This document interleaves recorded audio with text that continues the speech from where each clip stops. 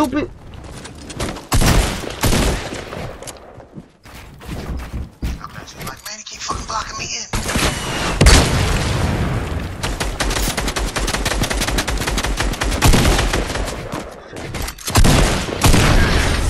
Whoa!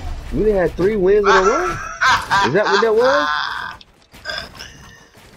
Is that what's going on right now? Man in the face like that. I will report you, Roro.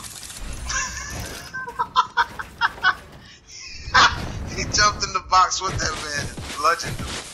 That's cool. You deserved it.